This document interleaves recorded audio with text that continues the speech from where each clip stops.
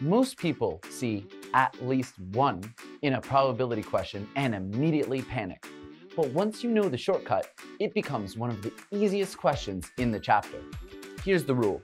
Don't calculate all the ways it can happen. Calculate the one way it doesn't happen, and then subtract from 1. Because at least 1 is just code for 1 minus probability of 0 happening. For example, three friends flip a coin. What's the chance at least one head appears? First, instead of finding the chance of getting at least one head, we do the opposite. We find the chance of getting no heads at all.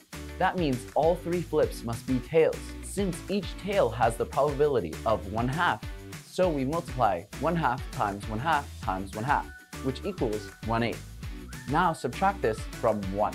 1 minus 1 eighth equals 7 eighths. So the answer is 7 eighths.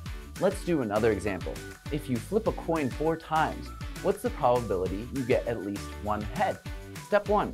Determine the probability of no heads, that is, all tails.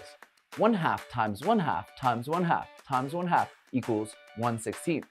Step 2. Subtract from 1. 1 minus 1 16th equals 15 16ths. So the probability of getting at least one head is 15 16ths. So the next time a question says at least one, don't list 20 outcomes. Just flip it, calculate the impossible case, and subtract.